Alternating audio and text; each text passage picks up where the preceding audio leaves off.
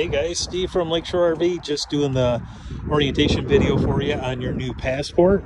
I'll start on the outside here, we'll work our way to the inside.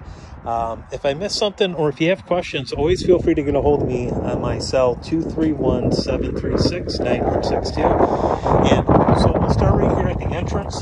We have the flip down steps and one thing you want to make sure as you're bringing these steps up and down is that there is enough clearance to this door. You want to make sure that door is all the way open.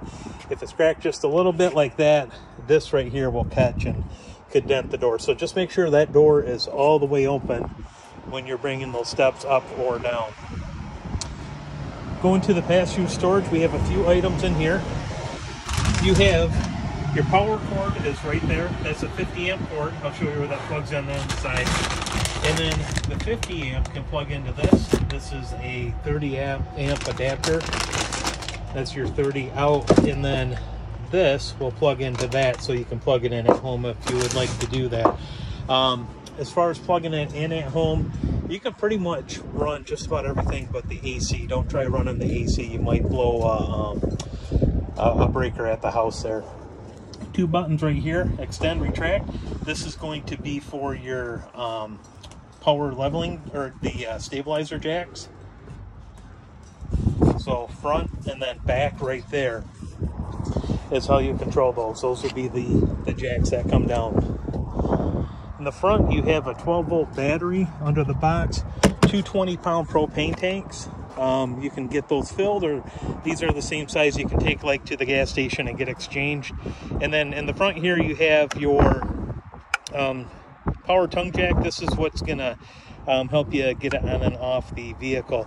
The on button right here, that is just for the light. You see the light comes on.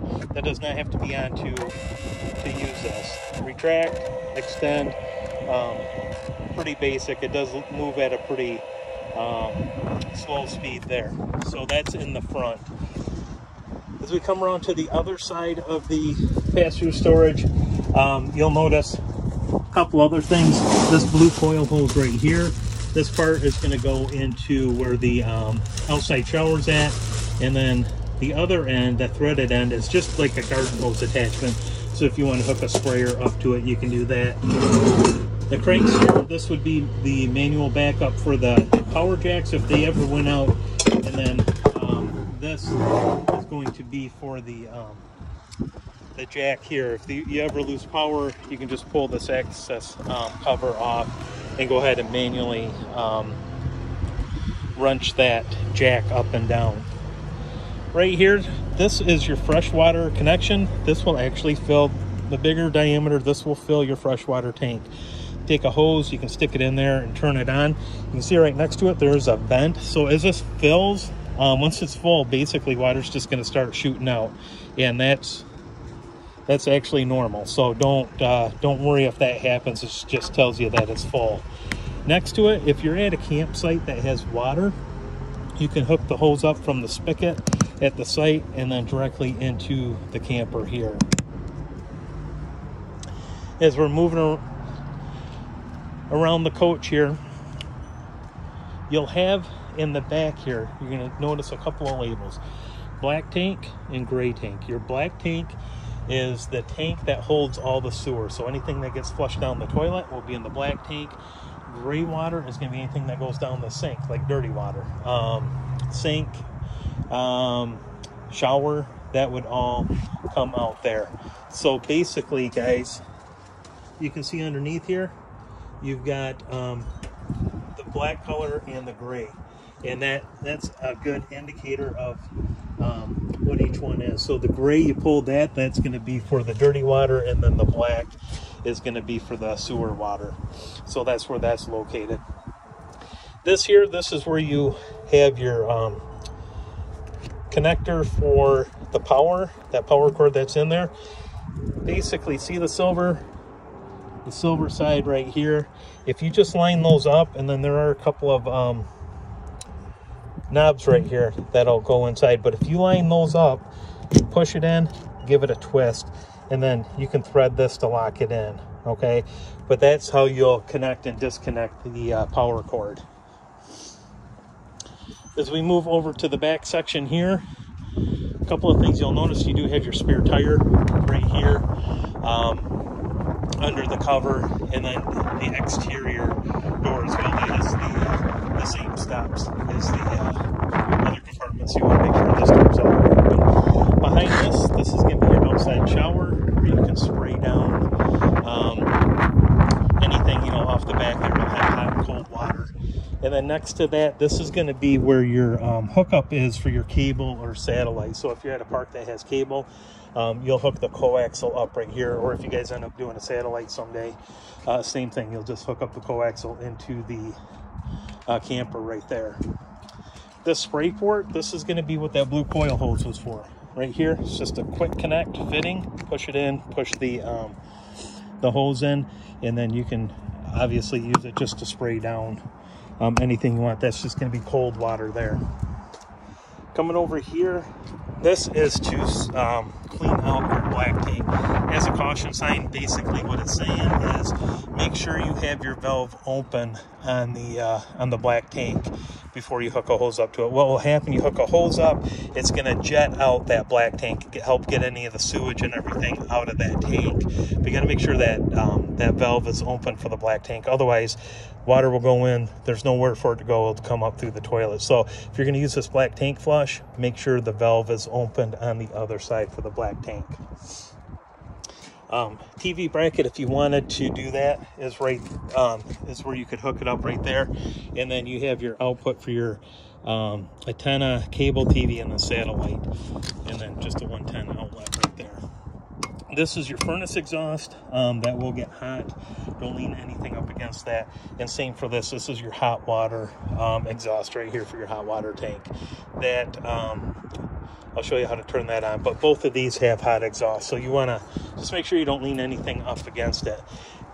Your outside shower, this is going to be an electric only fridge right here. So when you're plugged in um, to power, that will work. And then your the cooktop right here, as it slides out, you have the um, the gas line will reach down, and you'll see right there where that um, yellow cover is and the tag right there. That's where you'll plug into the main gas line for the for the grill right here. And then guys, as we move into the camper here, first thing you'll notice is this control panel. And this is pretty pretty self-explanatory, but let me go through a hot water heater.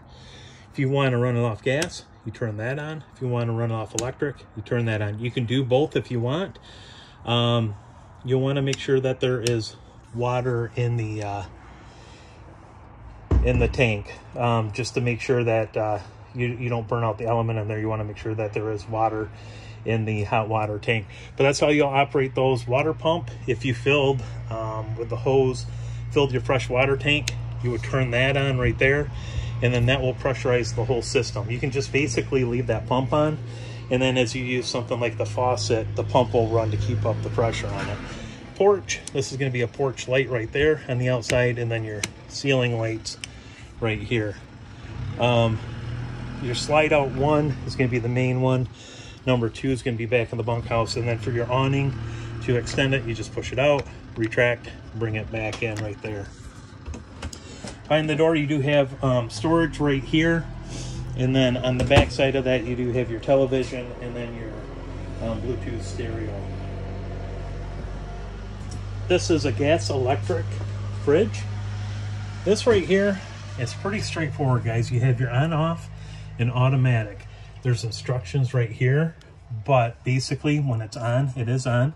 It's an automatic. Automatic position means when it's plugged into power, it's going to default to the power. When you unplug it, it will run off gas, the LP gas tanks in the front there.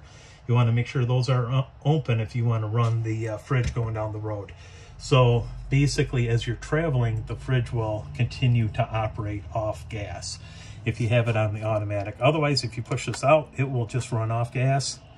Really not a point to do that um, because, like I said, when it's on automatic, it will switch back and forth. So as you're going down the road, it'll run off gas. When you stop, plug back into power, it will default and go back to electric. Your microwave, um, obviously you're gonna have to be plugged in for that. That operates just like what you have at home. Your gas, um, stovetop and oven, it just folds away like that. Three um, middle knobs there, that is gonna be for uh, the individual burners. And then on the end here, this is a spark ignition, kind of like what you would have, you see it there, um, on a grill. And then on the end, this is going to be for um, the oven right here. Um, and then you can just, again, pilot, crank, and then continue on to whatever setting you want to do. That's for the oven right there. The dial on the end, that's just for a little bit, a bit of uh, backlighting if you want that on. Again, fold and fold down into place. Sink, um, pretty standard. Does have the um, pull-out option here to spray, and then your keys here, your um, purple keys are going to be for the entry doors. The gray key is going to be for the um, for your pass-through doors to, to lock those.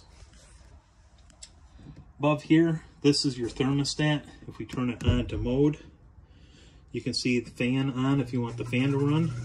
When the fan runs, that is actually the um, fan from the AC there. If you want the AC to run, you have to turn it on to cold, and then you set the temperature right there. So you can set it up or down. And then from there, we want the furnace on, you can see it says furnace, and then right there, that is in the off position. Um, so basically, you'll go through and toggle, cool, furnace, and then off. And again, fan, that is just going to run the um, the fan right here, and that will push air through the um, through the ducts. You might want to do that. Um, we use it in ours for like um, just noise um, when everybody's sleeping. We normally run with a fan. Otherwise, it will circulate air. Um, again, it, it's through the air conditioner, but the air conditioner is not engaged. The compressor is not engaged, so it's just blowing the ambient air around. So we'll go back out to mode. And again, to adjust temperature is all right here. Furnace, and then back to off. One other thing you'll notice right here is your GFI connector. Um, this is important if you have outlets that aren't working, because you do have, you know, outlets and then also in the bedroom. Um, if those are not working, just make sure that the uh, GFI outlet isn't tripped. If it is, go ahead and reset it, and that should take care of it. There's also going to be another GFI outlet right here in the bathroom. Okay, um, sink, pretty self-explanatory, hot, cold water. This right here, this is the travel position to, to lock it open. And again, um, hot and cold water and then pull up right there for the um, for the shower for it to go out the, the handle. The toilet right here, this is a foot flush. So um, to flush it, you'll just push. See if I can show you here. Push that down, that'll open up and then flush. The pink in here, it is winterized, that is antifreeze. Um, before you guys go out on your first trip, you'll want to run the antifreeze. Just hook a water hose up and basically um, open everything up and just run the antifreeze out of it. Bunk area back here, um, pretty straightforward. You do have the flip down steps here. Uh, again, make sure that door's all the way open before you use those. And then this is for the light outside. You do have outlets and then USB um, jacks throughout. Main thing back here is this is where your um, circuit breakers are at. They're all um, labeled as to what they're for, and then also your 12 volts. So a lot of this, the uh, slide outs, the light will run off 12 volt, which is basically battery power. And then when um, when you plug it in, there's a converter that takes it from the AC power to the DC power, which is basically 110 down to 12 volts. So you can operate all those um, items right off when you when you plug in. Then as we walk up to the front here to the bedroom, Um, you'll notice switch here for the slide out. This is on a dimmer switch. And then um, you can just slide your finger up and down to turn that off and on. You do have a carbon monoxide LP detector right down here. That's what um, that white box is. And then smoke detectors in the bedroom. You'll also notice right here that the um, uh, hookup, if you want a TV, you can do that in the bedroom as well. You have your outlet and then your hookup there for the uh, cable or satellite. Well, guys, that's going to be um, kind of the general overview on the camper. Again, if you have other questions, feel free to get a hold of me. Uh, 231-736-9162. Hope you guys have a ton of fun with this and a lot of great memories. And thank you so much for your business. We'll talk to you soon.